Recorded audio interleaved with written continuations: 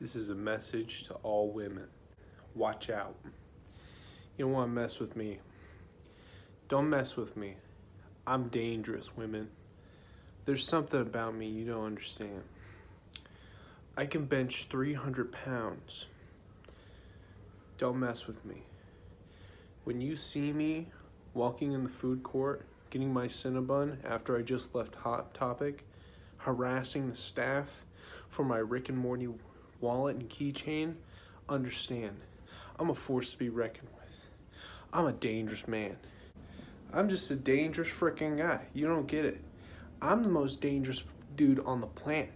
And when I see you and I'm staring at you, I'm gonna hunt you down and hurt you. You know what?